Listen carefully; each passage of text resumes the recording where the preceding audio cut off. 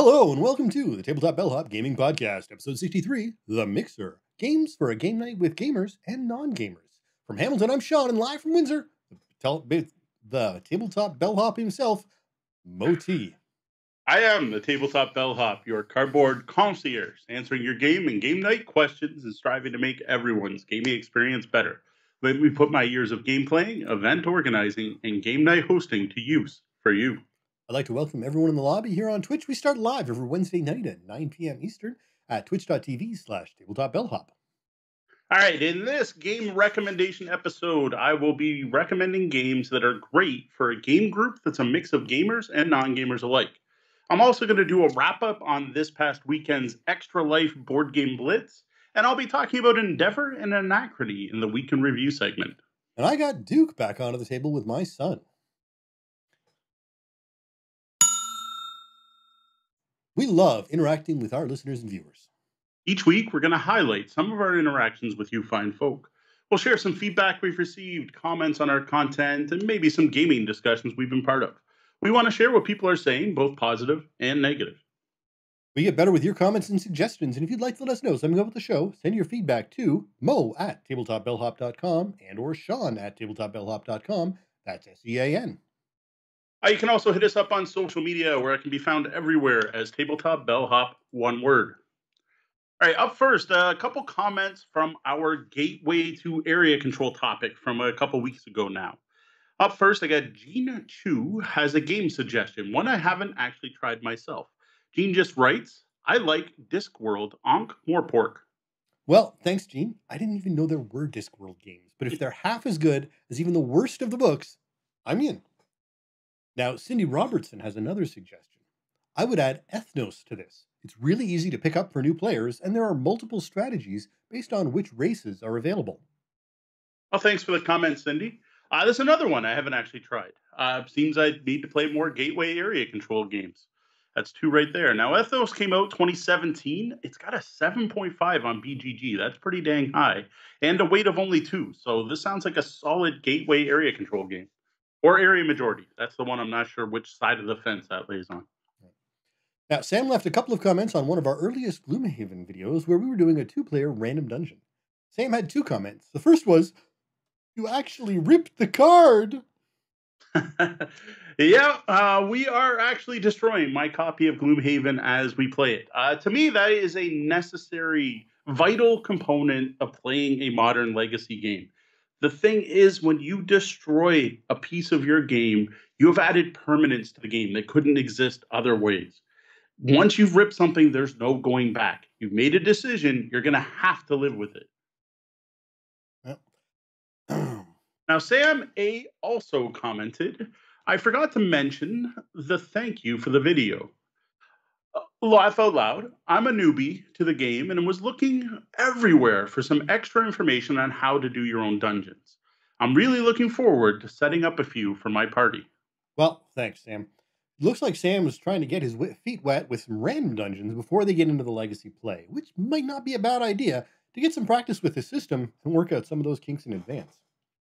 Now, our final comment comes from patron Jeff Seuss and is in regards to our weekly wrap up for last week, where Mo and Deanna attended Jeff and Sheila's wedding. Congratulations again to both of you.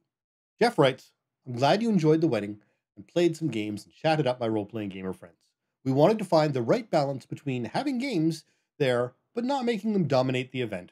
And I think we did. Well, first off, thanks for having us, Jeff. Uh, I gotta say, it did. It worked out really well. Uh, while there was gaming to be had, there were games there. There was no pressure on anyone to actually play games. It was just another part of the celebration people could choose to take part in if they wanted to. And some people did, and others didn't, and that was cool. Well, that's it for this week's comments. Thanks to everyone who shares comments and interacts with our content. We start Wednesday nights, 9 p.m. Eastern, here on Twitch, love people who drop in and take part in our chat room, the lobby. If you're here live, remember to stick around as we continue the show after the double bell for the after show. So we've uh, been chatting a lot about the uh, wonderful roads of Canada so far early today. It's a light chat room, but uh, always pleasant to have anyone here. Thanks for uh, Jeff, Ryan, and Tech for dropping by and saying hi in the chat room. All right. Well, today is going to be another board game recommendation episode. We're going to be talking about games that are accessible enough to be fun for new players, but still have enough meat on them to keep a longtime gamer interested. So, as usual, what I'm looking for the chat room to do is to point out any games we missed, anything I hadn't thought of or Sean hadn't thought of. I'm always looking to put new games. And if you do have a suggestion, we will be throwing that in the show notes when it goes live on the podcast. So everyone will get to see your game recommendations. We'll be checking back in the lobby a few more times during the show. We're here to answer your game, gaming, and game night questions. You can send your questions to questions at tabletopbellhop.com or head over to tabletopbellhop.com and click on Ask the Bellhop. Uh, social media works too. We're everywhere as Tabletop Bellhop, one word. Now, the best way to get questions in is to go through the website. I'm not going to say no to a question asked anywhere. And our question list is getting shorter after every week. We haven't gotten any new questions for a while. So we would love to see some new questions rolling in anytime. Today, we have a question from Samantha Bryant, who asks What are some of your favorite games when you've got a mixed crowd of mundanes and gamers? I'm looking for things that are simple enough that they won't overwhelm noobs, but interesting enough to engage gamers in the same group. Well, thanks for the question, Samantha. So, first off, quick note I do prefer the terms gamers and non gamers to using terms like noobs and mundanes when talking about people who are either new to the hobby or just haven't discovered the joy of hobby board gaming. Now, I get it that there it's a thing, right? Like the whole muggles and Harry Potter and mundanes and ska and so on. But I personally worry people are going to find these terms somewhat demeaning, and that's not something we want to make a new gamer feel. And let's be clear, Muggles is a demeaning term in Harry Potter. It's uh, generally said either thoughtlessly or with negative emphasis, and its root, as told by uh, Rowling herself, is a British term mug for someone who is easily fooled. So, but getting past the terminology, we get it. What do we want from a game that's going to be good for new and old gamers alike? Now, we've talked about gateway games many, many times on the show. Uh, for good gateway games, what we want to do is find something that's accessible, something that isn't overwhelming or intimidating, something that's easy to teach, and that doesn't have too many different mechanics. So there's generally a focus on one or two core mechanics. And then we also want something, we probably want something relatively short. You don't want to tie someone down for an epic game when they're not that experienced with board games in general. And one thing that might shift your thinking depending on your friend group is the kind of non gamers you have. Some people are non gamers because they don't or haven't played, not because they can't or aren't interested. Mm-hmm. That one friend who does the New York Times crossword puzzle in pen over a cup of coffee on Sunday mornings may have never played Power Grid, but they still might kick your butt doing it. Very true. I don't have Power Grid on my list today. To me, that that's a little more advanced than I expected from the average non gamer, but very true. So while you've got approachable, easy to teach and learn games and quick games are great for new gamers, based on Samantha's question, we also have to worry about keeping the experienced gamers at the table interested. So now we want to find a game that not only has those other qualities, but we want something with some weight and engagement. We want games where strategy and tactics matter, and we want a game with meaningful decisions. Basically, we want everything. Give us it all. Detail, ease, complexity, straightforwardness. Great for young and old. Yeah, we're going to try to get to these are probably the most generic game suggestions out there because of this, because they're going to appeal to the widest audience. And thankfully, there are a number of games out there that fit all of these criteria. Now, these are going to be my suggestions for great games that appeal to both new gamers and experienced gamers alike playing together at the same table. So, first up, Monopoly. No, I'm just kidding. I no. will not do that no. to you. Uh, first no. up, Imhotep, Builder of Egypt. All right, since getting Imhotep, I have played this with a wide variety of players at different skill levels, and everyone so far has enjoyed playing it, uh, from the experienced gamers to the brand new players. And I have literally seen both at one event, at the easy mode events we've had. Uh, now, Imhotep has an added bonus over many of these games of having a second side to each of the player boards in the games.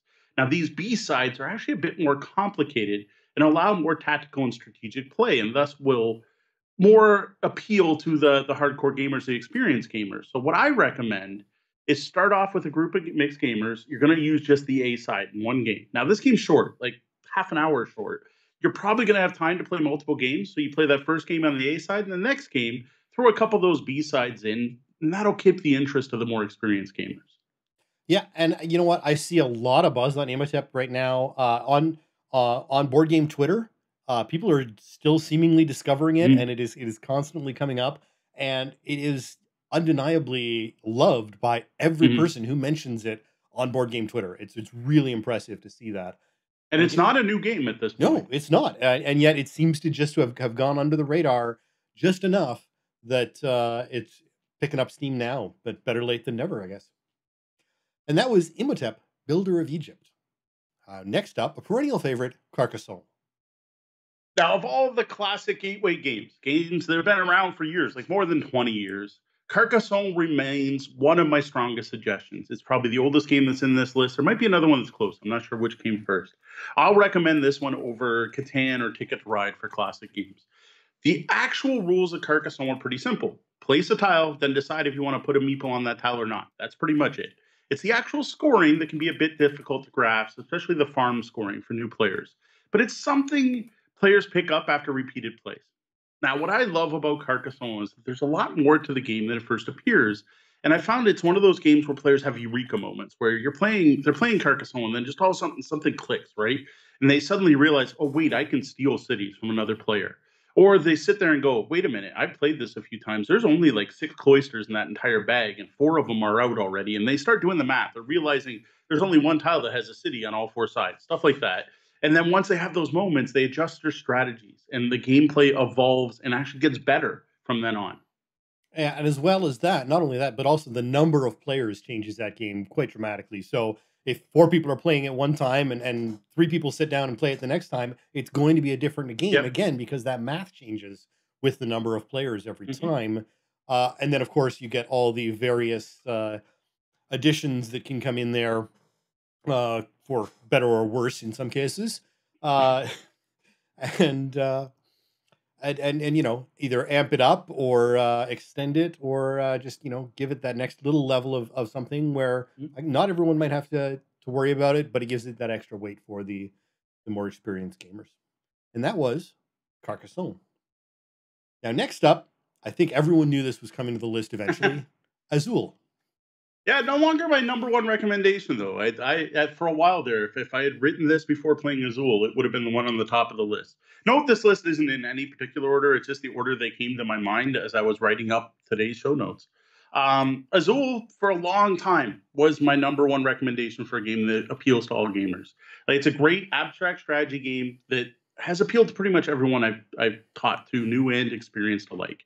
I've yet to find anyone that hates this game, though I am now starting to run into, at least locally, quite a few players are getting a little sick of it because Azul was out at every event and everyone was playing it.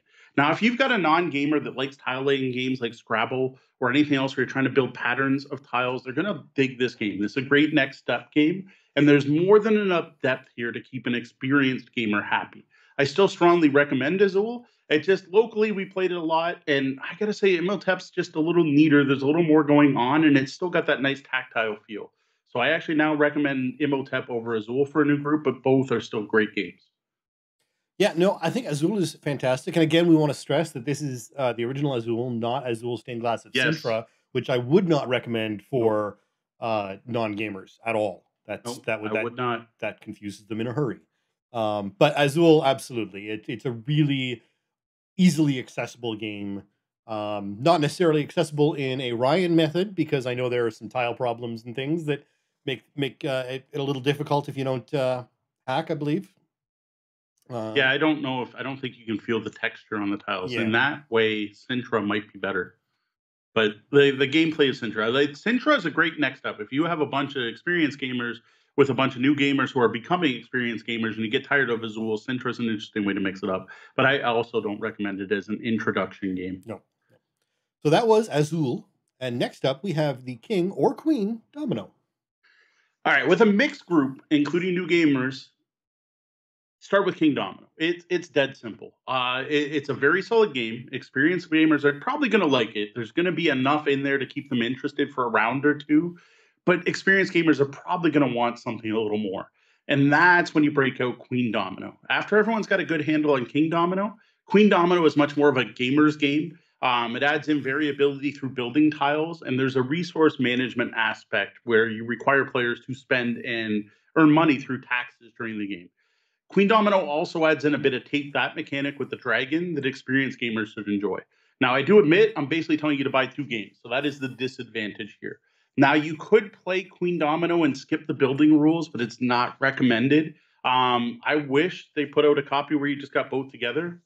Unfortunately, it doesn't seem like the way they're trying to market it. But if you're just going to get one, I do recommend King Domino. But like I said, your experienced gamers are probably going to have fun for three, four, or five rounds. If it's a one game night thing, it's probably great. But if you're going to keep bringing it out, you might want to step up to the other edition. Yeah, I've really enjoyed all my plays of King Domino. It's a fun game, but I haven't played it that many times, uh, and I can definitely see how if it was if it got to be too regular, you Mhm. sort of be like, "Oh, this again, really?" Okay. Yeah. Uh, and so I and for that I am looking forward to seeing Queen Domino. Hopefully they'll get the Queen Domino onto or sorry King Board Domino Arena. on, Yeah. onto uh, Board Game Arena. So that was that was uh, King and Queen Domino. And next up we have Gizmos. All right. Uh, gizmos are really any other gateway engine building game. So there's a series of these that have come out in probably the last five years. I don't know when Splendor came out, but Splendor, Century Spice Road, Century Golem Edition is kind of the progression. Splendor was the great game. Everyone was talking about it. Then Spice Road came out, and everyone's like, oh my God, it's better than Splendor. Then the Golem Edition came out, and people are like, that's better than Spice Road. Of all those games, personally, I really like Gizmo. Something about that little the marble feeder I like more. That's the reason I listed Gizmos on this list. Personally, it's my favorite. But all of these games are great intro level tableau building engine building games that are easy enough to learn that even non gamers can enjoy them. And there's just something about an engine builder as a style of game, something about where you start off with pretty much nothing and end up with a hopefully well oiled point making machine at the end of the game that is just rich, really rewarding. Like, I love engine builders in all types of game. And these are some great gateway ones. It's just that feeling of accomplishment that I built this thing out of these cards and I did it and I have this thing and it works. That feels so good. That's why I put this on the list. And I, while again, a lot of these games do the same sort of thing. One of the major benefits about of Gizmos that we've talked about many times is really how it displays. You know, it's it's hard to debate the fact that this game looks cool, looks fun, and attracts attention and gets people interested in the concept of the game just by the very marbly, towery concept of the setup, um, and, and makes that that intro less painful because yes, it's it, it it's not the easiest game in the world, but it's fun because it's marbles. So sure, show me what show me how to do this. You know. Plus, I find people dig the theme of the whole science fair, building a Rube Yeah. Goldberg machine at a science fair. That's very accessible to people. Versus Century Golem Edition, what are you doing trading power cars in an Asian bazaar to power up your Golem car? I don't know. So that was Gizmos, and next up we have Chocolatiers. All right, I have found the theme of building a sampler box of chocolates is a pretty dang easy sell to gamers of all experience levels. This is one of the games where, whenever I've been playing it at events, which has only happened recently, we have people come up and get interested. Like, what is that? Are you building chocolates? Are those real chocolates? Which is part of the presentation. They're glossy. And yes, man, you should have a box of um Laura Secord or I, don't- I don't know what the blocks of chocolates in the U.S. would be, but the you should have those while playing this game because it's going to make you hungry. Um, people are just drawn to this game because of the theme. Now, this is another game that I think, like Carcassonne, has some great eureka moments in it. Everyone I teach this game through comments, like partway through, they start playing like, "Ah, da," and then they're like, "Oh, wait, there's a lot more going on here than it first appears." Because you can just play the game trying to make your little nice box of chocolates for yourself, but the game really starts to shine when you realize it's even more about watching what the other players are doing with their candies and adjusting your strategy based on what everyone else is doing. But you can just do your own thing and still be able to play the game effectively, which is why I think this one would be so great for a table of mixed gamer experience levels. Yeah, and I, I actually don't think the Chocolatiers is a great gamer game, but for this kind of mixed gaming, I think it is great. Uh, one of the big problems with Chocolatiers that a lot of people uh, talk about is that the it's not a really great strategy game. There's a lot of ramness is in there. There are some complaints about some certain uh, rule aspects of it, and I think this could this can wear quickly on a, a group of hardcore gamers. But when you get that mixed group in Mhm. there, is where it really is going to shine. I think that's sort of like the the the ideal placement for this type of game. That and as Ryan is mentioning in the chat room, why is there not a real chocolate version? No, there really this? should. I mean, Like they like they make chocolate Catan. Why is there not a chocolate Chocolatiers? So I, I, I we should make one. Like, Yeah. like you, you, we'd have to go to like Purdy's Chocolates and Yeah. like get a list of the six different chocolate types and how many you would need Yeah. to do it. But yeah, there definitely should be a, a legacy version of Chocolatiers. Absolutely. So that was Chocolatiers, and next up we have Sagrada. yeah, this one's come up a lot. It seems recently. This I, I think I'm liking Sagrada more and more the more it comes out. Uh, it's a dice drafting stained glass window building game that's both elegant and beautiful. Uh, each turn, you're going to pick two dice and put them on your player board. That's pretty much it, right? But you got to make sure that dice touching each other don't have the same color or the same numbers. And I got to say, that is way harder to do than it sounds. Um, then you add in these tools that are randomized every game that let you break the rules, and then a variety of different player cards, so different windows that you're aiming for. And you have a great game for various difficulty levels. The one that I really like in this game for new players versus experienced players is you get windows, you draft windows at the beginning, and they have difficulties on them. And for a new player, you just recommend they take the easier windows. Now, by taking the easier windows, their patterns easier to make, but they get less tools to use. But in a way, that's good for a new player because they shouldn't need the tools because their window's easier. Whereas an experienced player can take that difficult six star card that's going to be really hard to place their tiles and be challenged and be able to compete with the easier player. And I think it's really neat that way that can work in that game. And the rules are simple enough that yes, a new player could also start with a six window and potentially win. But it's that option of hey, if you're having a hard time with this game, pick a really easy window to start, and then you don't have to worry about the tools as much as everyone else. I really dig that. Yeah, no, Sagrada has come a long way. And again, if you're worried about group size, they do have a five and six player uh, expansion that came out Mhm. last year. Uh, and this game is a uh, wonderfully Canadian game that has really uh, been showing some staying power. Uh, power, and it's really well liked. Um, you know, there's not really too many people have negative things about this unless they're the haters. Um, Which they're always going to. It's too random. always are, There's yeah. dice. There's always expect? there's always going to be haters, but I, I have to say this this game has a really nice balance of of both in likability and weight. Uh, and I still have never actually played it. One of these times, that's that's another one. That at some point, I told you you need an Excel file or something. I know, I know. Um, and so that was Sagrada. stuff. And next up, we have Tokaido. This is one Sean and I have played a lot lately. Uh, no, what I find really cool about Tokaido is this is a game that plays completely different with a group of new players than it does with a group of experienced players. Like literally, completely, almost like you're playing two different games. Yet it works brilliantly with a mix of both because both types of play are valid. New players tend to focus on the journey and the story and making sure they eat and making sure they see all the vistas, whereas experienced players are all about making sure the other players don't get that thing they need, making sure they don't get that final vista or they don't get to go to the shop or they don't get to go work on the farm because they're going to need money by the last thing. It's a two two very different styles of play. The game can be either totally zen or completely cutthroat, and it's just as fun played both ways. Absolutely. I mean, I play this game almost too much. Uh, I, basically, a, game every day and a half or so. I, I play, um, depending on how all our schedules line up. Yeah. And the one thing that's really nice about this now, especially when you add in Crossroads, and, and again, I, I don't think you should be playing without Crossroads. Um, but when you add in Crossroads, you add so many possibilities. And then if you get in there with the sweet spot of three players, you have so many options to play, and they're almost all valid, potentially winning combinations. Right. Uh, and so you can explore. And so what I do, because again, because I play it so often now, I'm hey, I don't know if I've ever played with this particular character, or I haven't played with this character in a long time. And the last time I did it this way and it, it didn't go so well. What happens if I do it this way? And you play through, and you know, maybe you get crushed and you get a you know 40, or you crush everybody else and you get an 88, you know, and it, you you're just not sure. And that's that's one of the great things about it.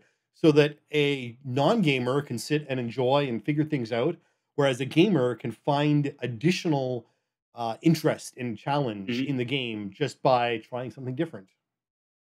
I don't know if I'd recommend Crossroads for the first play with a new Oh. player. This I, I think you need to learn what those board spaces do before you give people an option. Uh, see, I I found it frustrating that there was no option when I was in those Yeah. early games. Uh, that that it was you know oh you're just you're stuck. I I want Yeah, to do this. stuck. This is no this is useless to me. Why do I want this?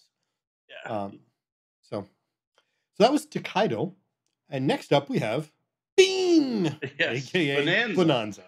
Uh, this is another tried and true classic. This is one I couldn't remember if it's older or not from Carcassonne. It's up there. They're around the same time period, just before the turn of the century, which always seems so weird to say, but it's true. Uh, one of the great things about Bohnanza is that every player is engaged every round. Because even if you don't have the bean or want the beans that are up for bid during a round, you should be paying attention to what the other people are offering or wanting so that you can better negotiate on your turn.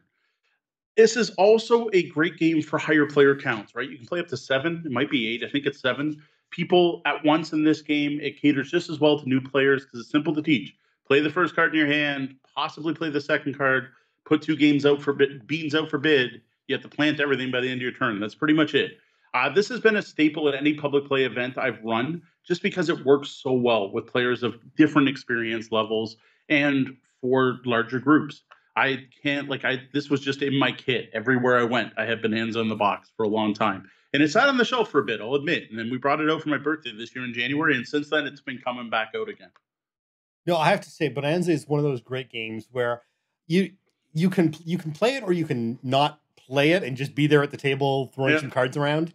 Uh, and, and it's a lot of enjoyment. Uh, the only the only thing you have to watch out for is that I think it's sometimes the if you have too many non-players, it can sort of take away the fun of the of the players who are trying to actually you know get too involved Yeah, um, so that you've you've got that potential you can wa- to watch out for. But really, it's just I mean, it's a fun, silly game. So even the the gamers are probably going to be having some fun and laughing it up during this one. It's just enjoyable. Yeah. It's odd that trading beans and talking about trading beans tends to devolve into laughter, Well, and I- I'm not quite sure why. It's the like, what restriction. is. it's it's the hand restriction because you're never worrying about sorting your hand. You're sorting your cards or or or or trying to find the best balance. You're stuck with what you've got in that order, and that gives you a freedom to chat and enjoy and, and, and do whatever does. because there's nothing else you can do. You can't nothing with that hand you can do except for what's coming up next. Yeah. Yep. Um, and so that is Bohnanza, B O H N A N Z Z A. Next up, Lanterns, the Harvest Festival.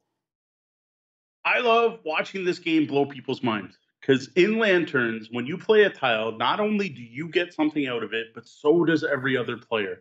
And that new players are always like, what? Like it, it really tends to shock people.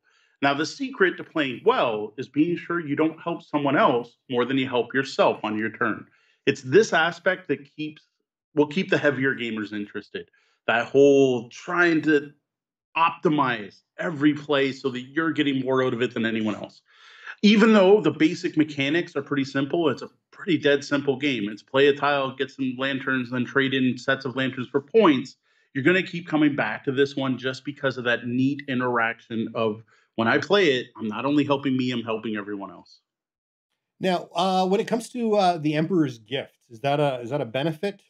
I personally found that to be one of those bloated expansions that made a tight game too loose and too open.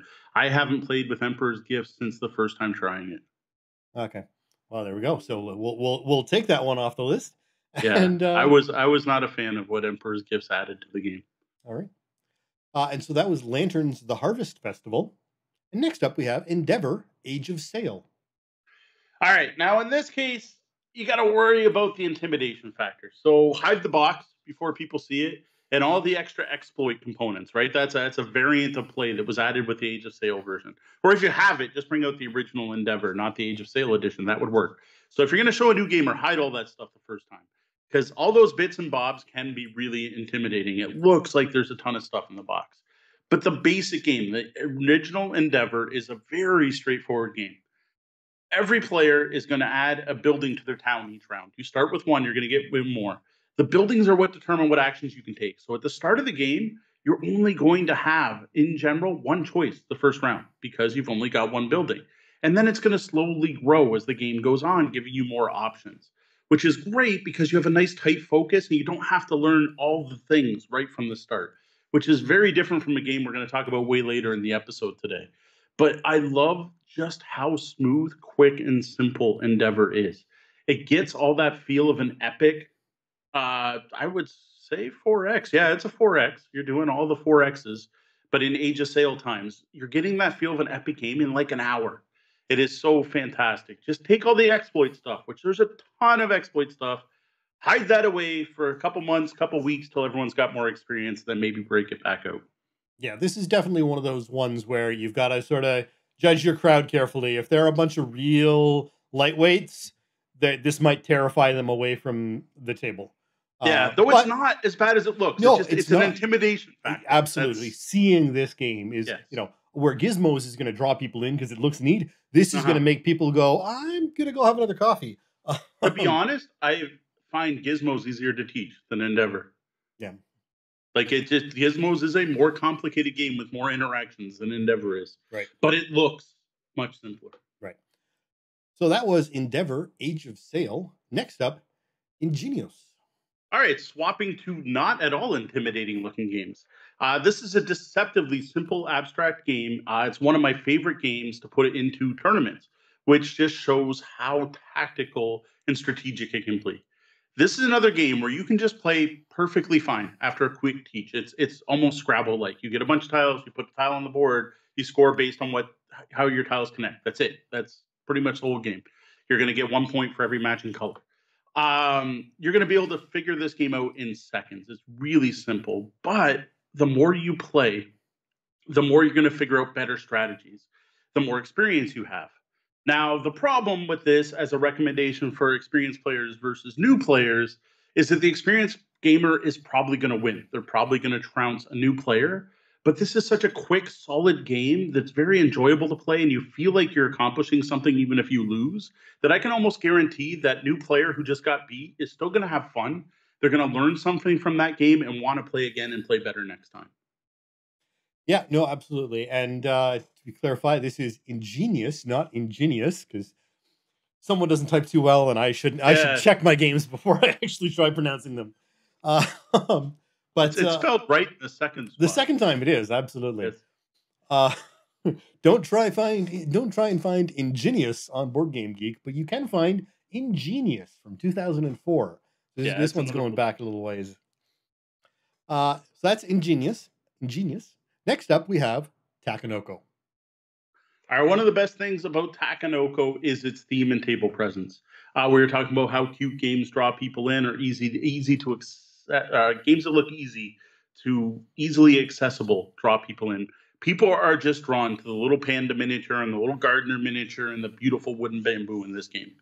The theme draws people in, and it's simple enough to learn mechanics. There's only, uh, I think, four different actions you're picking from. None of them are too complicated, but they lead to a surprisingly deep game that will bring players back. Uh, this is enough of a game that's simple enough. I play it with my daughter but there's enough weight here in strategy and decisions and you are a master of most of your own destiny in this game except for the random draw of the um, goal cards is a game i don't mind putting in board game tournaments because i think you can be like the the, the more strategic more tactical player is tends to win without the random factors affecting it so that's why i recommend this one yeah, no, Takenoko was fun. I, you know, I, I played it for the first time uh, on on Board Game Geek a few weeks ago, or Board Game Arena yeah. a few weeks ago, uh, and it's just an enjoyable game with uh, a lot of a lot of presence. Even the digital version, uh, while not quite as cute and adorable as the yeah. Uh, physical version, is still definitely uh,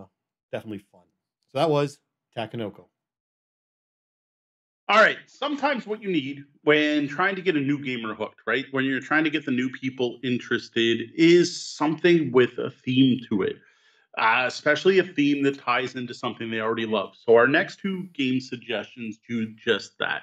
They're games that I, I wouldn't say steeped in themes, but at least have themes that are going to draw people in based on their love of an existing property. Yeah. So first up, we have Lords of Waterdeep.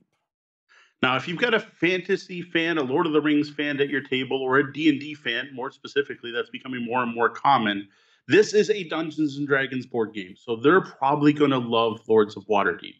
Now, while the theme isn't overly heavily integrated into it, what you have here is a great intro level worker placement game that's got plenty of depth keep experienced gamers interested. Now, I will admit, they're if they're huge fans of Caylus, they're not going to think Lords of Waterdeep's the second coming. It's not that great a worker placement game, but there is enough depth there. Now, after you played once, if you can get the Skullport expansion, that's what you can throw in that tends to hook the experienced gamers. They'll get a little more involved in that because there's a risk reward system added to that. That personally, I think makes the game. I prefer to only ever play with Skullport. But if I'm playing with new players, I have no problem playing Lords of Waterdeep vanilla. Yeah. Now, I do tend. I, I do. I am the uh, the disagreeing party here. I don't necessarily agree that the theme is is fantastic and wonderful and, and draws you in, but that was my experience with the game. Again, I still love the game. I just don't particularly saw, see the theme as as big of a draw. And again, that may have been how it was introduced. I don't know. Um, but that was Lords of Waterdeep. And next up, we have something that I'm a little more familiar with, and I completely agree with Harry Potter Hogwarts Battle. Yeah, this is another one with a theme. So if you're trying to hook a non gamer, you got a Potterhead at your table, here's one to break out. Because Hogwarts Battle is a great intro level deck building game. It just teaches you the very basics of a somewhat random market, but not overly random market and basic deck building. And it has the added bonus of being cooperative. And I probably should have more cooperative games on this list overall. I don't because I'm not a huge cooperative game fan myself, but they're always good when you have a group of mixed experience levels. Because this lets the experienced players use their experience to help the new players to work together, and in this case, defeat the forces of darkness and he who should not be named. I gotta admit, I was really impressed by this great introduction to deck building. The only thing you got to watch for is watch for the difficulty to ramp up significantly at book five or so, and then like max out at book seven. So that is something to watch for if you're going to keep playing through it. It does have a big difficulty spike. Yeah, no, absolutely. But those first four uh, books, especially, are really great, really introduction uh, friendly. And the nice thing about this game is it adds more components and and techniques as you mm-hmm. move on. So the game learns with you. Now, again, unfortunately, there is that real difficulty spike, uh, which again we've talked about before. In a deck builder, it shouldn't be too easy to win. Um, so it starts off too easy to win, but it is definitely not too easy to win by the end. Uh, yeah. And I mean, I taught this game to uh, one of your girls and a mm-hmm. few real gamer, you know, a few, few hardcore gamers sitting at uh, a table for your birthday, I think it was, or New Year's, or one of those. New Year's, New Year's. New Year's. Uh, and so you know we've had this on the table with non-gamers and gamers, and mm-hmm. I taught it to my kids, and they got and they jumped right into it, no problem whatsoever. So that was Harry Potter Hogwarts Battle, uh, and then my addition to this list would be the DC Deck Builder. Again, a strong theme game, but go with the Teen Titans pack. Uh, and I know a lot of people have agreed with me on this one, and I've heard this from a number of people. Um, while there's nothing wrong with the the base DC Deck Builder game, the Teen Titans pack has a few fun little sort of mechanics uh, within it that just makes it a more enjoyable game. I feel, especially for the new, easier, newer gamers. And as a deck builder, everything's right on your cards. All you need to do is learn out how to set up that basic uh, tableau of um, cards for the cards, and then everything else is on the cards from then on in. So it's really easy for everyone to pick up, uh, and it's reasonably casual too. If you're, you know, if you're chatting away, all you have to do is turn and read what cards are up and you know what the situation is basically. I haven't played that particular one myself. Um, I think I definitely wouldn't recommend Rivals. I think no. that's the one we played. Yeah, Rivals. Wow. Yeah, Rivals. Rivals. I hmm. would not recommend for the newer um, yeah, non gamers. That was, that was rough. Yeah, there's uh, there's some real technique to that, and it helps if it helps if you know the uh, the games better. And that was DC Deck Builder Teen Titans. All right. We're checking back into the lobby now. We've uh, got a number of comments going on here. So uh, let's see. Uh, Ryan would like something a bit more than Kingdomino, but the Giants expansion isn't it? Yeah, I haven't checked out the Giants expansion. I gotta say, Queendomino is good. I did notice he said something about it possibly not being accessible, so I'm yes. not sure. Yeah, so Queendomino isn't isn't uh, very accessible, and I definitely uh, agree on that one. Um, I think it's uh, it's got some issues because you can't. I mean, without being able to see clearly, you'd have to hack the cards. But I think it wouldn't be too hard to uh, put some braille marking of some sort um, onto those cards to be able to to to feel your feel your way through what the dominoes are. Because again, it, they're it's just dominoes. So Well, the problem with King, Queen Dominoes is not. There's also building tiles, and there's a whole bunch of different buildings that get overlaid on top. Right. So that's a bit of an issue. Right. I could see it. Uh, let's see. We have uh, Brian Counter Cult, uh, Brian Counter Cult of the Old, uh, who is another blind game enthusiast. Enthusiast likes gizmos. I'd say I worry if like you you mustn't be completely blind because those marbles you'd have to do something to. Like they are nice bright colors. Hmm. Like Gizmos is good, but like there is no difference except color between those marbles. And now Ryan's saying that uh, if he's involving colored dice placement, he'd rather play Roll Player over Sagrada. Um, I could see it, but I I can't see that being a great intro. yeah, I, don't know. Again, theme. If you've got D and D players, if you got a bunch of people with at your table and some are experienced, non-experienced gamers, and they know D and D specifically, or like roll three dice for strength, con, and so on, Roll Player would work. I could definitely see that. No, I, I, I definitely agree that uh, it takes that it it does require that buy-in on D and D in order for it to be easy enough to Yeah. um, But like, if you don't understand concepts like alignment and wearing different pieces of equipment and being able to equip only one-handed weapon or a two-handed weapon or two one-handed weapons, it's those little concepts that I think are difficult for a new gamer. But nowadays, so many people have played RPGs, right? They played Skyrim if they haven't played D and D. That it's it's becoming more accessible. Yeah. Um, I personally, I don't know. Sagrada is just so nice and pure. Roll Player is neat, but I don't know. I haven't tried the Roll Player expansion. I like Roll Player, but for some reason, Sagrada gets to the table way more often. Uh, Danielle, who joined us uh, a little bit later, thank you for dropping in, uh, was mentioning that if it wasn't already said, concepts was popular when we had non gamers at parties. See, the pro- is that really that fun for gamers? That's the problem I have with concepts. Like, I love concept. We've recommended it every time we talk about light games, party games, casual game nights. But I was thinking, like, when I hear experience gamer, I'm thinking, you know, people like GMT games, people like heavy games. And to be honest, concept to me isn't a gamer game at all. It's a social activity.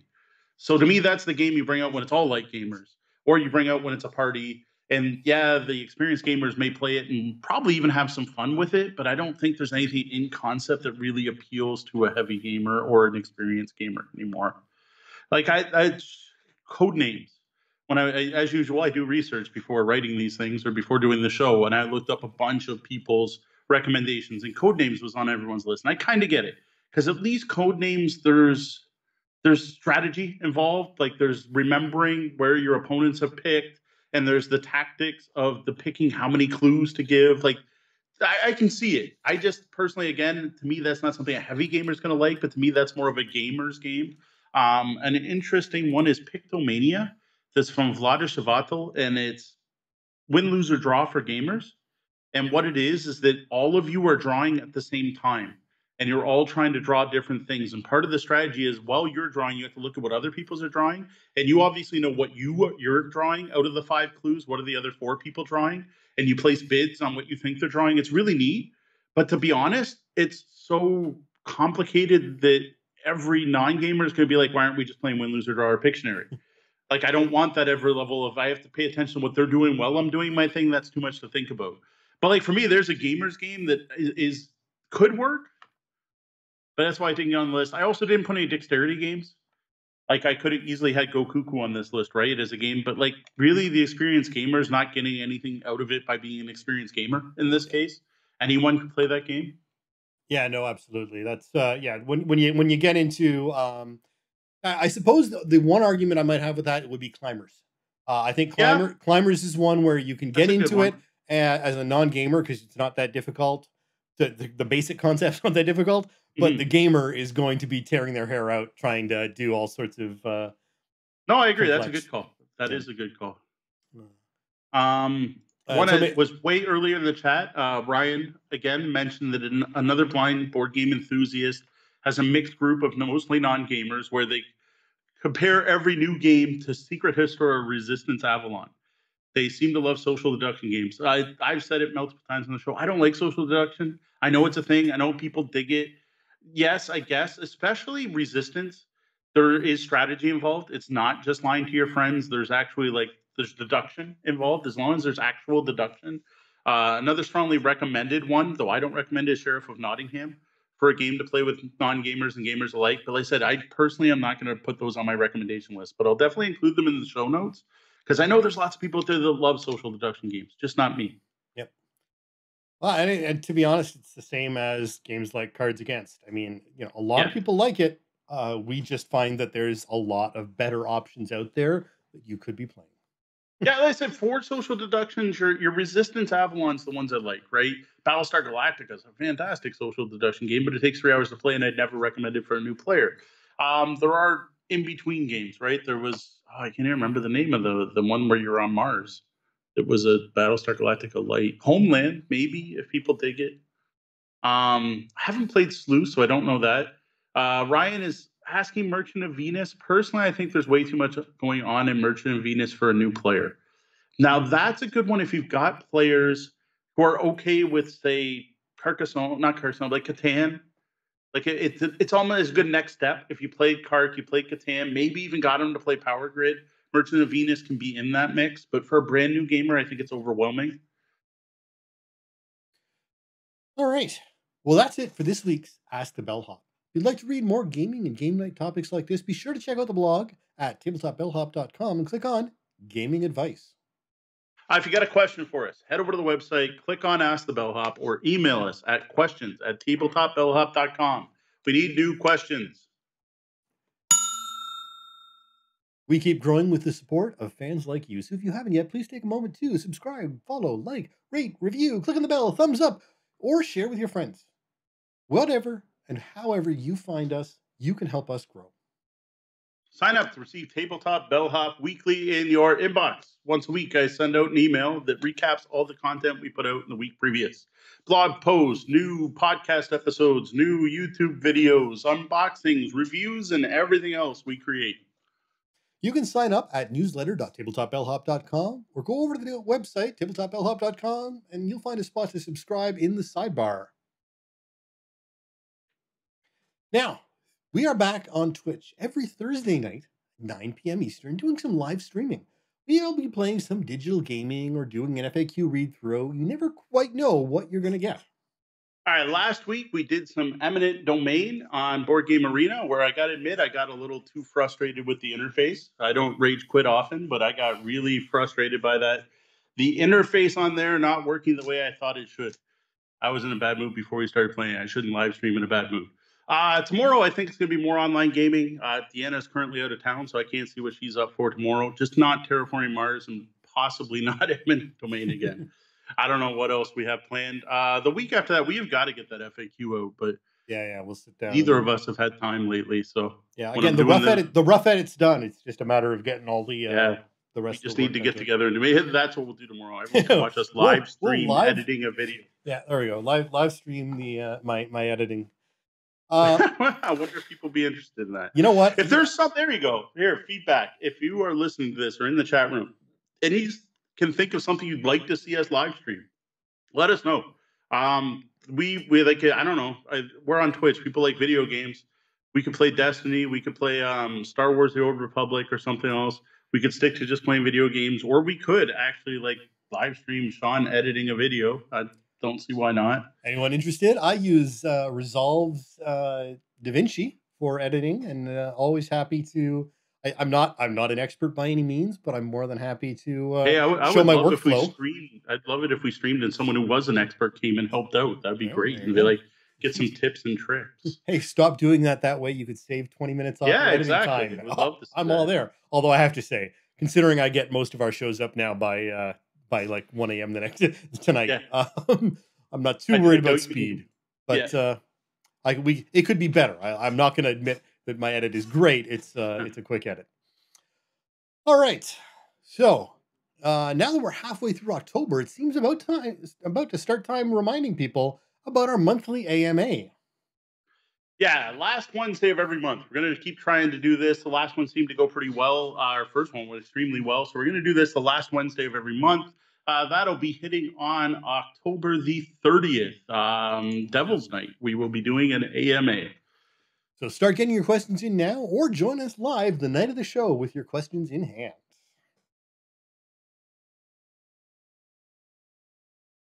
All right, all that is left on the road to extra life is the final destination, the main event itself, hitting on November 2nd and carrying over into the 3rd. This year's big event is held at the CG Realm at 1311 Tecumseh Road East. The store is going to be open from 10 a.m. on Saturday until 6 p.m. Sunday, November the 3rd. There is going to be a ton of gaming, board games, card games, CCGs, miniature games, and more. Besides open gaming, we've got an X Wing tournament. There's a War Warmahordes tournament. There's going to be a silent auction running all weekend, a live auction, 7 p.m. Saturday. You want to be there for that. The stuff we got is amazing this year. And we've even got the local Artemis crew on board Saturday from noon to 5 p.m., where you can try your hand at being a Starfleet, sorry, Starship Bridge officer. And of course, the cheat jars will be out all weekend. We want every one of you to join us. If you're local, please come down to the store. But if not, we will be streaming this entire event live at twitch.com, twitch.tv slash tabletop bellhop. Up next, we're going to do a recap of the Windsor Extra Life board game blitz that hit this past weekend. All right, first off, I know people are going to be asking, what's a board game blitz? So, the board game blitz is a multiple round, no elimination board game tournament. Now, this format was created years ago for something called the Great Canadian Board Game Blitz, which was a circuit of board game tournaments held in prep for Fan Expo Canada, which is a big, huge event that happens in Toronto every year. Winners of regional blitz tournaments would get passes to Fan Expo, which is a huge prize, actually, a huge significant value there, where you would go to Fan Expo and then on Sunday compete to be crowned the Great Canadian Champion or the Great Canadian Board Games Blitz Champion. Yeah, no, it, it's uh, it's tough enough to get into Fan Expo with tickets. Uh, yeah. so and getting tickets is a whole other thing. Uh, but uh, if you uh, if you like crowds and geekery, it is the event to go to for that uh, that sort of stuff in Canada. Really. Yeah, and it's becoming more and more tabletop focused over the years. It used to be more pop culture. Now tabletop's invading more and more of it, especially with the popularity of D and D and Fifth Edition and Critical Role and things like that. Now, over the years, I've hosted a few of these tournaments in Windsor, and they've always been popular. But unfortunately, the people behind the actual Great Canadian Board Game Blitz um, fell apart. It fell apart. It's no longer running. The last one they did was in 2015. Um, basically, the head organizer decided he didn't want to do it anymore, and no one picked up the slack. So there hasn't been an actual Great Canadian Board Game Blitz since. But what I've done is taking the format because I love the board game blitz format, and I've run a few local blitz tournaments using the original rules. Now, this won't have anything to do with Fan Expo anymore. We're not tied to them at all. It's just basically I'm using their format for my own personal events. Now, the last one of those happened this past weekend at the CG Realm as part of our 2019 Extra Life event. That's right. This is just another one of the steps on our way to helping the uh, sick children across uh, North America. So, the way the Blitz works is each round, a selection of games are featured for that round. Competitors are going to pick which game they want to play. Uh, it starts off in random order, but then as you get further in the tournament, it's based on your player rank. From this selection of games, they they decide what they want to play, and as games fill up to the max player count, which is three or four, depending on the number of people, the choices get limited. Once all players have chosen the game, the games get played. Uh, it's all following the rules right out of the box, no variants, no expansions. Players get points based on their placement. So many points for first place, so many two, so many points for fourth place. These points are then weighted based on the length of the game. So a long game, the two-hour games are worth 10 points for first, whereas a short game is only worth five points for first, as an example. At the end of the day, you're going to add up all your overall points, and the winner is the player with the most points, and we give awards for second and third as well. Nothing, uh, nothing too complex. It's not one of your crazy math, uh, you know, tree tournaments where you need to no. figure out your final sixteen and count down to game day. So just simple math, and everyone can figure out up front. You know, if you know what they're going to do, how they're going to do, uh, you know, based on uh, you know what game they're playing and what places they might come in, what their scores are going to be at the end of the round. Very true. Now, for Saturday's event, I ran a five round event. Uh, was two short rounds, two medium rounds, and a long round. Uh, we started with 10 players. We had a couple players join in during the later rounds, and we did have a couple players decide to leave during lunch. Now, this is allowed. If you skip a round, you just don't get scored for that round. And it actually is possible to, say, win the tournament by showing up only the last two rounds and placing first in both if other players didn't play so well. Overall, by the end of the day, we had 13 different participants. Now, I got to say, I, I got to admit, 13 kind of sucks. Like, that's, that's, I was very disappointed by the turnout. I think our biggest mistake, though, is we ended up putting this on the weekend of Canadian Thanksgiving. And that probably was not the best choice. Now, I don't know how we could have multiple meetings leading up to this and no one went, hey, that's Thanksgiving. But hey, oh well. it is what it is. It was set and done, and we advertised when it was going to be, so we had it. Now, I got to say, though, those 13 players did seem to have a great time, and it was a fun event. We had a lot of fun. It went very well. I just wish more people were out there. No, it's you know it's funny. The Canadian Thanksgiving is an interesting thing. Canadians take it seriously. It's not like it's a it's a fake holiday. Uh, like Chris Columbus Day tends to be in America. Uh, Indigenous Peoples Day. Is that what? Depending on what state you're in now. Oh, okay.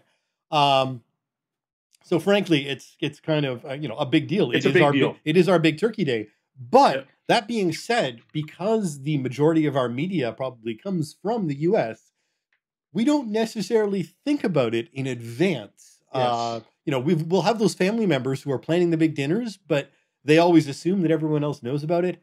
And uh, both myself and many of my coworkers were scheduling uh, work on mm-hmm. the Monday, just casually. Yeah, yeah, we're going to be flying in on Monday and doing this, that, and the other thing until fun- finally somebody speaks up and says, "Um, guys, that's Thanksgiving, and we have to reschedule everything." Uh, so yep. it's a common. It uh, unfortunately it is a common problem in Canada that you forget Canadian about Thanksgiving it. gets forgotten about until the last minute. It's like a stealth holiday, yep. and it does. It's never on the same weekend, right? It has that problem too. Like it, it moves and I don't, I don't even know how it moves. That's one of those things I don't understand. Like it's not like it's always the third Sunday or something, or maybe it is. See, that shows how much we know about it. But yeah, we love celebrating it, and it's a big deal. Like, and the other thing is, most people, because it's a long weekend, tend to do multiple meals, like with both sides of the family in most cases, whether that's mom and dad or whether that's his and hers, whatever that happens to be, or hers or hers and his and his, whatever that happens to be. Is most people tend to do stuff the entire weekend. Like it's a it's it's a big thing. Uh, thankfully for my family, we don't we do things on Sunday and Monday, so Saturday is free. But I think for a lot of people, they were not free that weekend. So next year, lessons learned. So at the end of the day, Saturday, it was a uh, player I had never met before, which was awesome. Uh, Shumi Wang, who took first place with 33.5 points. Now, Shumi needs to sit at a table with Deanna because, my God, out of five rounds, she came in first for four of them and second once. Like that was an impressive showing. Uh, now, Deanna Tuzano did follow with 28.5. And then Sean Hamilton and Qui Van, or Q, better known as Q, were tied for third, both having 27 points. Uh, there are three tiebreakers in the Blitz rules. They still tied after all three tiebreakers. If I was thinking what I would have done is just taken the third prize prize and split it in half and given it to both of them. But instead, they decided to Rochambeau for it. Sean won with a deft use of paper over Quiz Rock. Well, you just can't take the gaming out of a gamer. That's for sure. so, in total, we did raise $66 for Extra Life, which is a unique amount when we were looking for five bucks a head, but we did have some people tossing some extra money. So, thank you. And I do want to thank everyone who took part in the event. Uh, special thanks to the people who were willing to teach games during the event. I highly appreciated that. That meant I didn't have to teach every game every round. That was nice. Actually, it worked out. I only had to teach one game around. That was the one silver lining of only having the numbers slow, smaller numbers we had. Uh, also, big thanks to the CG Realm for giving us a place to play and for topping up the prize pot. Um, the prizes was half of the pot, plus the store donated a bit more to up that a little bit, and we gave out gift cards. Absolutely. So I think uh, you know, despite a lower turnout and uh, problematic di- scheduling uh, issues, uh, there's definitely some some good has come out of it. Now, if you head over to the blog tabletopbellhop.com, uh, I do I did a much longer, more detailed wrap up. I actually shared which games got played each round, who won each of these games, and had a little summary of how I thought the Blitz was going at the end of each round. I'm not going to get into all that detail here. Head over to tabletopbellhop.com and look for the Blitz wrap up under On Our Tabletop. Now, what I do want to talk about here, though, is my overall thoughts on the event as a whole and kind of a look back, lessons learned. So, the biggest disappointment for me, obviously, was the turnout. Uh, none of us realized we scheduled the event for Canadian Thanksgiving until it was way too late to change the date. Uh, we also had some problems advertising the event due to the limitations of Facebook. And what I got to do is move away from using Facebook. Yes, the Windsor Gaming Resource Group's there with 600 members in it, and it's been the best way to get a hold of people. But they, again, were limiting the number of people could invite. I could only invite 50 people to the event myself, and they had to be friends. They had to be members of the WGR. Deanna had the same problem. We had people sharing the event, getting warnings saying that I have limited attendance so that it would only be shared to a limited. I don't know. It, Facebook is trying to constrain things, and because I shared it, created the event as a group, it couldn't be promoted, so we couldn't even pay to promote it. So you know, f you Facebook. I got to say overall, but hey, it's still the best way to get rid of hold of the most people. What I didn't think of until literally a week before was to put it up on Board Game Geek, which man, I should have done that way sooner because that's right to the target audience.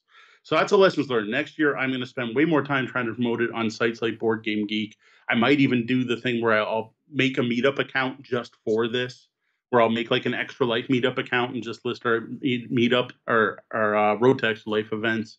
Uh, I just got to get the word out up there a little earlier in a few more places. Uh, meetup is not um, not where people are going right now. Apparently, they are charging uh, yeah, they charge even for a minimum account now. Yeah, so like, like groups in Africa and things like that. There's there's there's protesting going on right now. Wow. Whereas, uh, uh, so Meetup, the, the only way people are using Meetup is a basic Meetup where you can do for free, but you include a Google link to an actual uh, okay. an actual an actual Google Doc that that goes through everything because um, they are wow. they they have some poor business practices globally. Wonderful. So, unfortunately, we don't have any good yeah, options right now anymore. for what's out there. Um, hopefully, somebody will step up.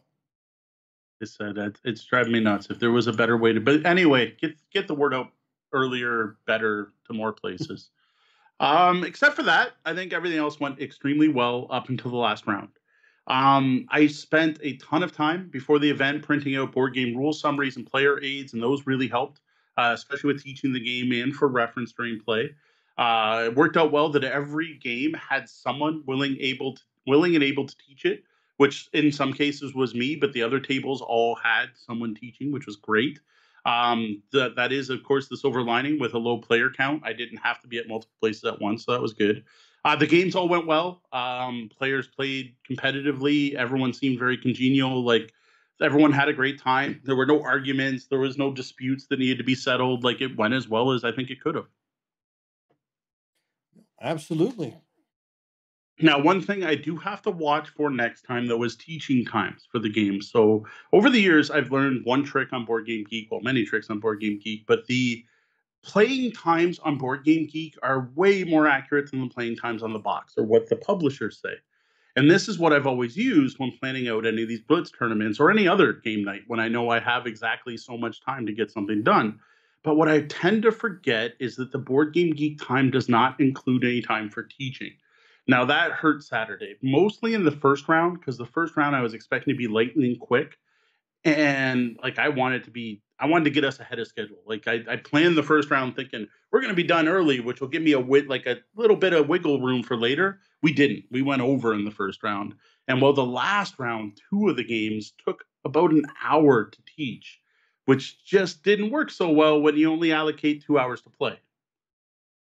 Yeah, no, it's uh, it's it's a real issue, and I mean, it's one of those things. We actually talked about this in some way, to some degree, last week when we were talking about how you know with 50 games being brought there, there's no mathematical way to teach all of those games. Yes. Uh, but unfortunately, even with only 13 people, you still run into some mathematical problems depending on how difficult the game is to teach. Now, from what I heard from people at the event and afterwards, and people who sent me private messages and stuff, I, overall reception was good. Uh, the one recurring theme we got though was that everyone thought the event was too much of a con- commitment. Um, we got this from people at the event as well as people who chose not to attend and who I got rid of a hold of after We were like, "Hey, I thought you said you were coming. What happened?" So it wasn't just Thanksgiving that was holding people back, or that was part of it, right? They could be tied up on Thanksgiving weekend, but not for 10 hours. So I think any future Blitz events, I think I'm going to limit them to three, four rounds maximum instead of five. Possibly even cut out the dinner, the hour dinner break, because once you're there for that long, you need to throw a dinner break in. Whereas if I cut out a round, I might also be able to cut out that dinner so that we don't have to require people to set aside so much time to be able to play. I'm even considering possibly knocking it down to three rounds so it can just be a quick afternoon thing instead of an all day thing. Yeah, no, absolutely. I think there's definitely there's definitely ways to do it, uh, and we were talking earlier. Like, there's even the potential of stretching thing, uh, you know, stretching things out into different days if that works better mm-hmm. for people. Uh, you know, do it a two day, you know, four hours on Saturday, four hours on Sunday, and get everyone home mm-hmm. time for dinner on both days, sort of thing. That overall, I think it was a great success. It could have been better, but everyone who did attend had a great time, and we did manage to raise some money. Any money is better than no money. Hey, sixty-six bucks. That's that's counts, right? That's that's that's not a negligible amount of money. I would have liked to have been more, but I'm pretty happy with how it went. And now the Bellhop's tabletop, where we look back and see what and summarize what's happened since we were last here. What games hit our tables? Every week, we like to take a look back at the games we played, any events we attended, and other cool gaming stuff that's going on. You can catch the blog version of This Week in Review at tabletopbellhop.com under On Our Tabletop. All right, to start, uh, prep for the board game Blitz. I broke out Endeavor with my Monday night group. Uh, the goal was to relearn the game before the event because I was worried I was going to have to teach this one, and I hadn't played it in a year since I got the Kickstarter version. So on Monday night, um, we played with a full five player count, and I guess it went very well. But heck, I'd say it went exceptionally well. It was good. I gotta admit, I was rough teaching the game because it had been a year since I had broken this one out.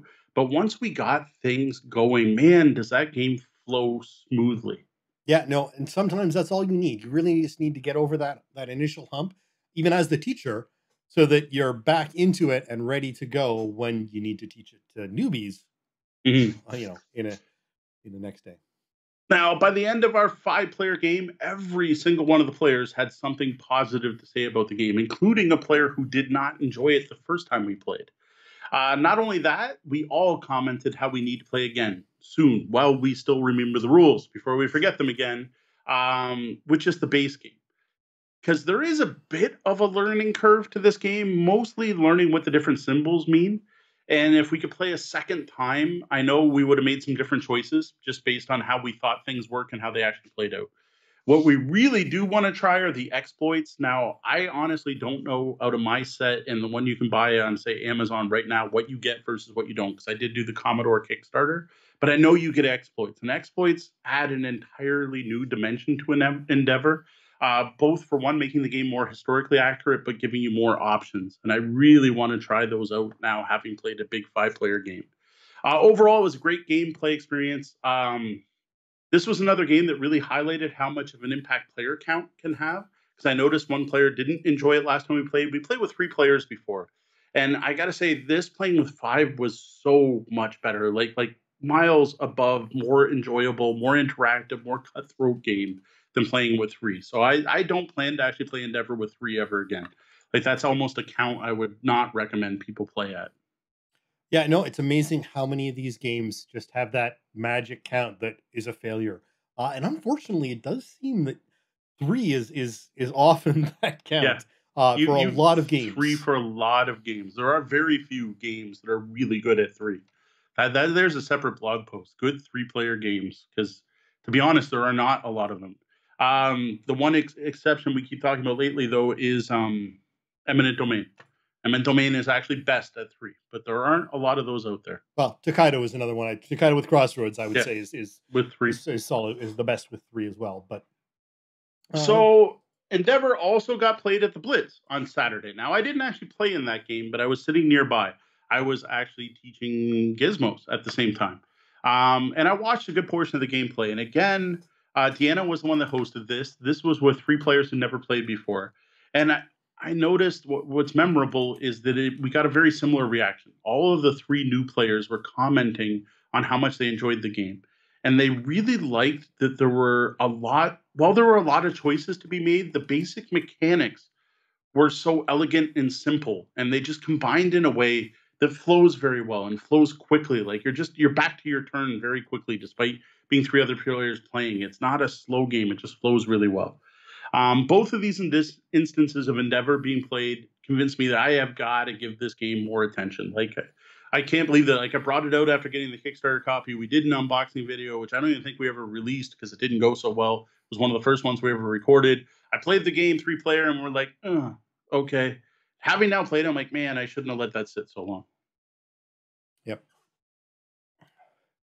All right, now getting back to the board game blitz. Now, when I host these board game blitz, I facilitate and I don't participate. Because mainly because I'm the organizer, right? Because I'm the one who's picked the games to be played. And all the games are coming from my personal game collection. I personally don't think it would be fair of me to take part and potentially win a tournament featuring games I've handpicked. So I spent most of the event teaching games and watching people play and answering questions. D plays, but she didn't actually pitch, pick it, uh, pick anything and organize. No. So, yeah. Yeah, Deanna, uh, we asked actually at the start of the event, we said, asked if people were okay with Deanna playing. She does not, she has input into what games are being played, but no, I'm the one that made the list. I basically let her look it over and then she'll point out things like I forget, like, hey, Istanbul is a race to get 15 gems and then it just ends. There's no second, third, and fourth place. It's just someone who wins. I'm like, oh, good point. Yeah, I got to take that one out. That's what she tends to help with. But yeah, we did confirm it with everyone if it was okay if she played. So uh, we do that every event.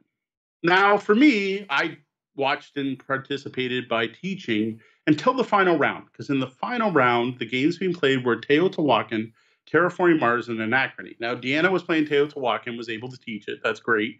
Um, and the group that chose Terraforming Mars were all players who were in second and third place in the tournament, and all had played the game multiple times. So like they were good to go. They were like, here, take Terraforming Mars, go set up wherever you want. No one needs to talk to you until someone wins. So that left me to teach Anachrony. Now I gotta admit, I completely forgot how hard this game is to teach. Like I even prepped for the Blitz, watching a couple videos, but man, what I didn't realize was how much I'd already internalized because there we had a player there who wasn't a very experienced gamer. Like they play a lot of games, but they just don't know a lot of different game mechanics.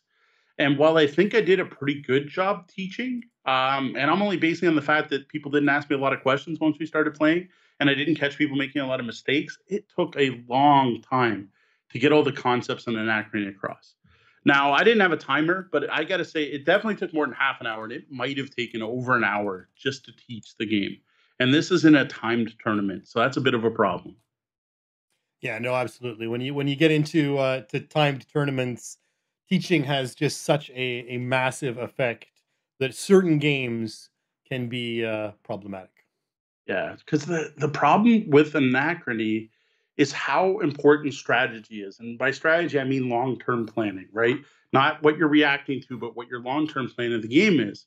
And one of the first things you do, right, in one of the first turns of the game, I think is the third round of the game, is you have to decide what resources you want to take from yourself in the future. The game's about time travel.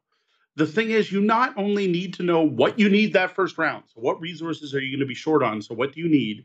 But you also have to be planning ahead so that you can pay those resources back in a later turn. That's the whole time travel loop. For someone who's never played the game before, this concept is not simple. This is not an easy, oh, yeah, I get it. Like, this takes a bit to grasp the fact that you're going to get what you need and the fact you're going to have to pay it back later is not something you see often in gaming. No, absolutely. There's there's so much of a um, act early for late reward in yes. the game that, that and that's just tough for any non-gamer or someone or even a gamer who's unfamiliar yeah. with that game uh, to mm-hmm. grasp mm-hmm. um, that uh, you know in hindsight that may not be the best uh, game for that type of a, a game, uh, unless you've got people who already know how to play it. Yeah. And then there's it's worse than that too, because besides that, there's asymmetry, right? So there's a big player board that everyone gets, and there is an A and a B side. And to keep it simple, everyone use the A side. But then you also have a smaller faction board, and the faction board has two sides. And then there's also leaders. You have to pick which leader to use for the whole game. And that is literally the first decision you make as a player is which side of my player board am I using and which leader am I using? But you have to make that choice and you've never played before. And this is is so hard because every leader has a unique ability. And each of the abilities affects one of the six main phases. And you won't know what that does until you know the six phases. And then the faction board choice is based on a special scoring thing that happens about 75% of the way through the game, right? When the meteor hits Earth, you can now unlock this new scoring ability.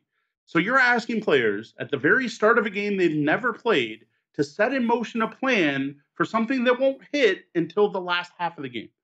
Like for players to be able to make this decision in a tournament, I had to explain the entire game before we could start playing so they could make this an informed choice. Absolutely. It's it's it's just tough to to be to need to cram all that information in before you can literally do the Take your first, first action of the game. Yeah. Because like most board games, as a teacher, I can usually say, let's just start playing and I'll explain this later. Right? You don't need to know everything before you make your first decision.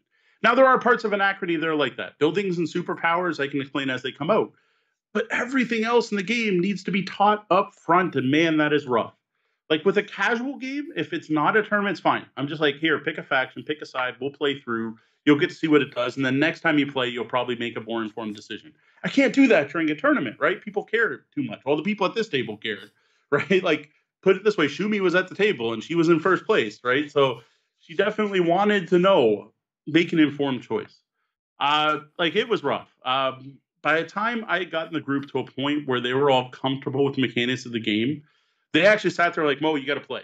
And I'm like, what? And I'm like, no, no, no. You just sat, you spent an hour explaining this game. You look excited about it. You look more excited about it than we're. You're not needed in any other tables. They're like, you know what? Hey, sit down and play. And I'm like, all right.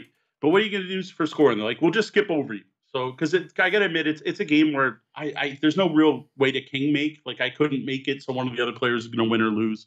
So, like, fine, I'll play. So, why not? I actually got to play a game of Anachrony while playing at the Blitz. Which leads to the really weird, ironic thing about Anachrony. Because after all that huge explaining and all those decisions, once you start playing, it's really not a hard game. Your initial choices at the start of the game are limited to public worker placement spots, and there's only five different ones. And your early decisions are straightforward. You're basically going to focus on building buildings or getting workers that you're planning to use in later turns. And most of that, unless your first player, is going to be driven by what the other players have done already. So, unless you're literally the first player, you're kind of guided where you're going to go at the beginning. It's only once you build your first building that you're adding your own player board, that you're taking your own path, that that decision tree really starts to branch and the decisions get hard. At the start, I always find it striking how quick and enjoyable those first few turns are. Like the first two, three turns, how quick and lightning fast, and oh, I'm just getting goods. Oh, I'm doing this thing and that. And how that compares to how rough the teach is. Like it's it's it's a game where you, you feel terrible because you're like, don't trust me, it's going to be fun while you're trying to explain it, and then people are like, oh wow, yeah, it really is fun. And yeah, the game gets heavier as you get further into it, but because it's a slow progression, you're just slowly adding one more building, one more decision point, maybe two buildings one turn. That by the time you get to the harder decision points, three, four rounds in, you're prepared for it because you've slowly taken those steps up the ladder. It's one of the things I actually think is brilliant about the game. But man, that teach at the beginning. Yeah, it's it's that it's that cliff, right? You can't you can't get to the to the greatness of it without getting that data dump in there first Yeah. to to to preload everything. Um, you know, it's like one of those games uh, hooking up on your old PC. Once you get it loaded into memory, it's great, but you gotta wait until it's all in there before you can do anything. Yeah. So in this case, by the end of the game, all three of the other players did know how enjoyable the experience experience was, how much they liked the game. Um, people actually talked about going to find a copy of it. Uh, a couple players even noted they're like, "Man, when you were teaching that, I was like, wow." I remember Paul. He wasn't actually playing, but he walked over to comment about when I taught him the game before, and he's like, "That's a kind of rule book Where if it suddenly said, and then you take out a fish and slap the player on your left, I wouldn't be surprised that that just I'd be like, oh yeah, yeah, that's part of anachrony, um, which I thought was an amusing way to look at it. But like everyone who played it really enjoyed it. The other thing they all agreed, though, and I thought it was funny, is like there is no way in hell I am ever teaching that game. So if I buy this game, you're gonna have to come to my house and teach my friends how to play because I don't want to teach that game. I admit I didn't even have fun teaching that game. Uh, basically, what this told me about Anachrony, which goes the same with with with Endeavor, is I need to play it more.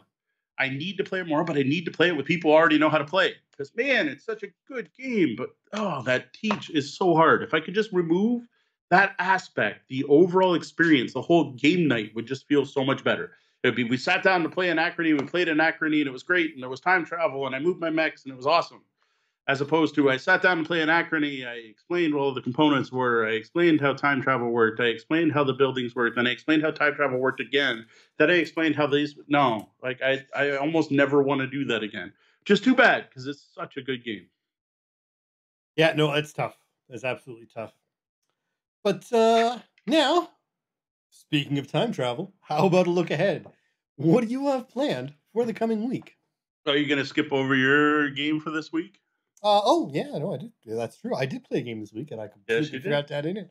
Uh, my son to uh, has been playing uh, Skip-Bo in the mornings with his with his mom before uh, before heading off Never to played school. that game. Uh, and that's that's that's their that's the, what the, the kids and mom play Skip-Bo. That's their that's their game. Uh, but uh, some days Sherry's off to work early in the morning, and uh, so all of a sudden one night, you know, we we'd had breakfast and the, the day was ready, and, and we were sitting there, and all of a sudden he comes over and drops the Duke down in front of me, and I'm like, Nice. really? I had to pull you out of bed this morning. Are you really awake? And sure enough, uh, he kicked my butt, uh, and then he kicked my butt again the next morning. Um, and we they were good, solid games. I have to say, I don't. He's obviously getting better at it. Uh, he and he actually even brought it to the table with one of his friends.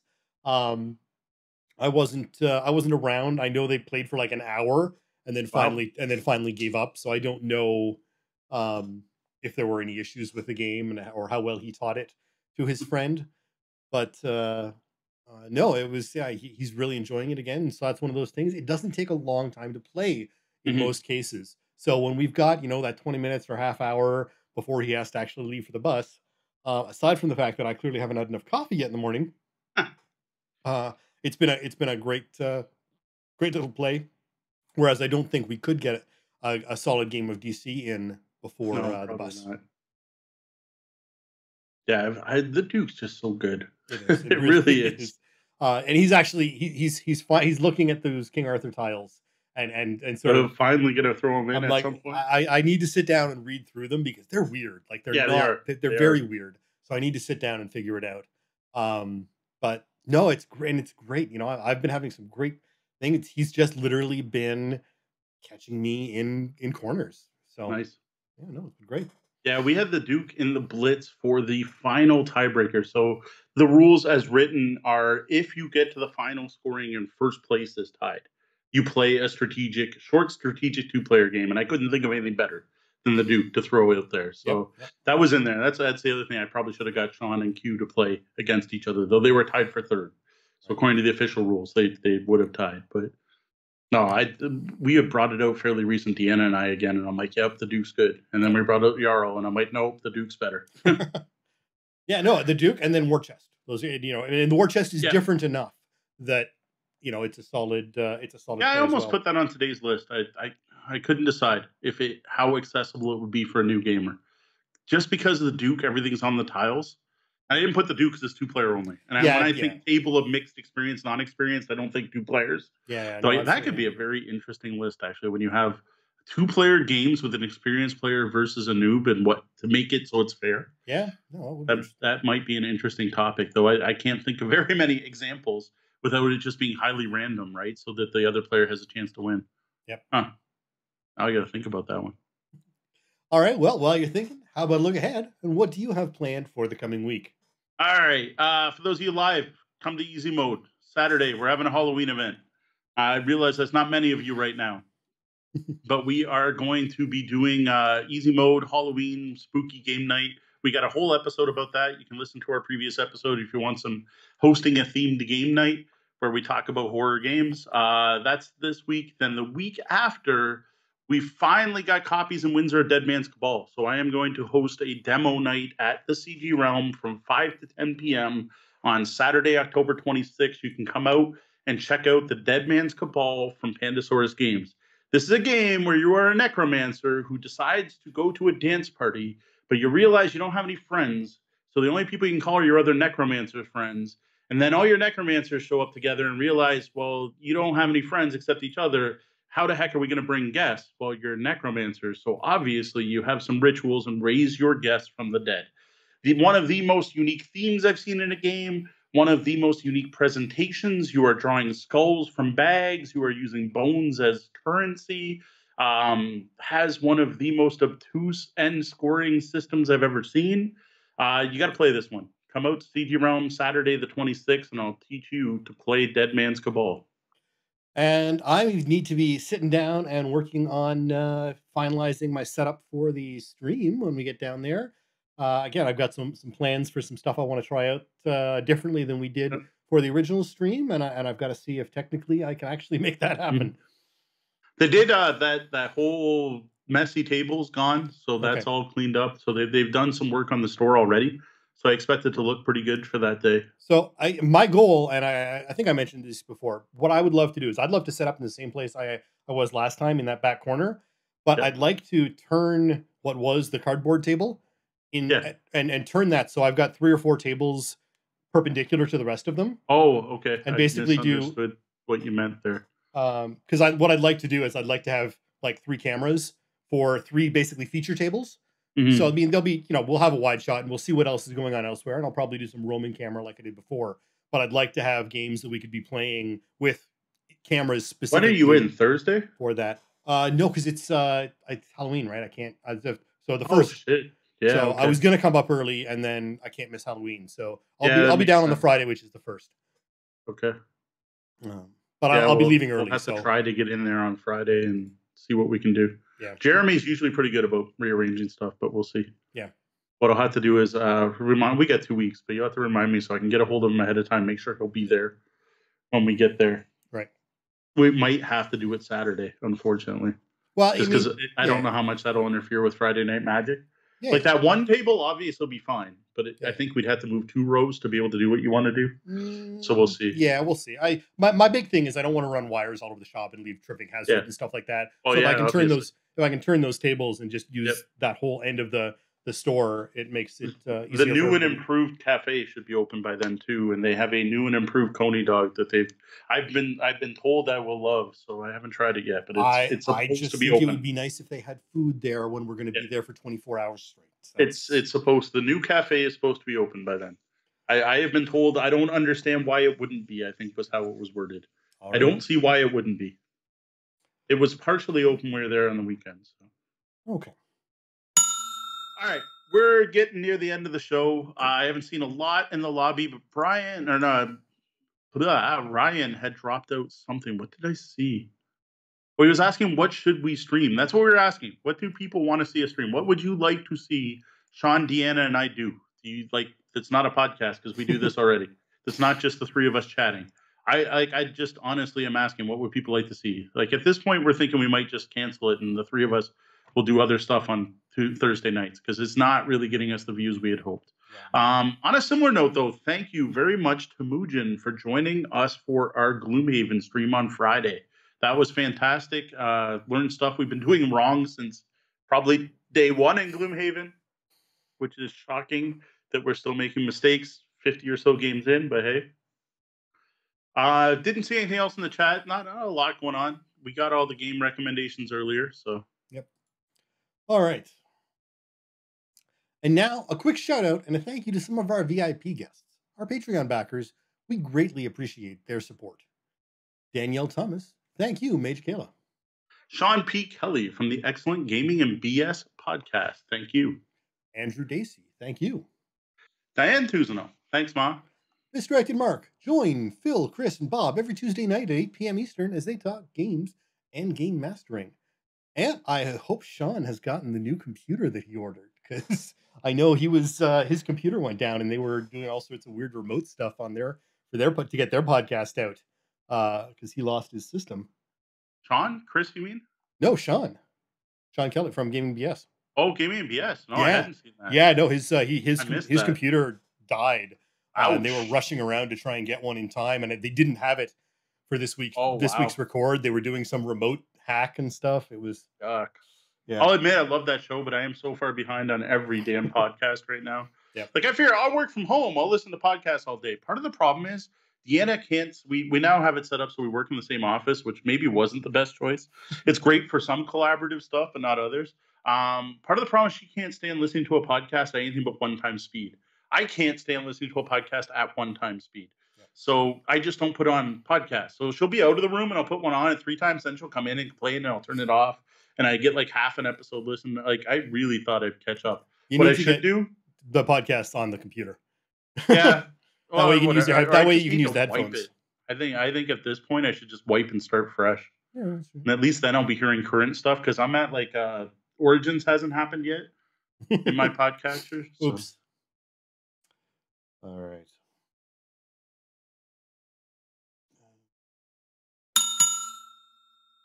Well, that was the double bell. That means my shift's coming to an end, and we are going to have to lock the front doors and kick y'all out.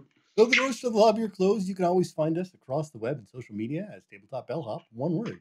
You can also find us on Board Game Geek as guild number 3347. Drop by our website at tabletopbellhop.com for more gaming content. Uh, if you like what we're doing here at all, head over to Tabletop Bellhop, or sorry, patreon.com forward slash tabletop bellhop, and please consider tipping the bellhop. And yes, we are going to revise our Patreon. It is going to happen sometime. All the work's done. We are just waiting for something that we're going to be talking about in the after show tonight. Remember to join us here on Twitch every Wednesday night at 9 p.m. Eastern and watch the Tabletop Bellhop Gaming Podcast. Hit your podcatchers and YouTube at 2 a.m. every Tuesday. You can also catch the Bellhop's Tabletop Fridays at 8.30 p.m., where we mostly play Gloomhaven, but now and then we'll surprise you with something else. Well, that about wraps up the time we have for the show tonight. For those of you here live, thank you for joining us. And be sure to stick around and join us in the penthouse suite for the after show. For Tabletop Bellhop Gaming Podcast, I'm Sean. And I'm Moe. Thank you, and game on.